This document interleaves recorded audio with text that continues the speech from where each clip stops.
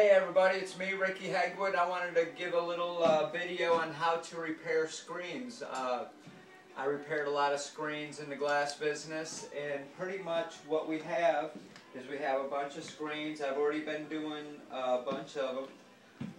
We've got a whole bucket of spline. We have our two rollers.